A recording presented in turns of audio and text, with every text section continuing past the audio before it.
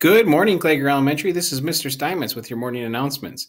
Today is November 7th, 2019, and it is a B day. And it's going to be a wonderful day because today is my favorite snack choice day. Your lunch choices today are A, a Bosco stick with dipping sauce and broccoli, or B, a cereal fun lunch. Your snack choice today, you guessed it, raisins.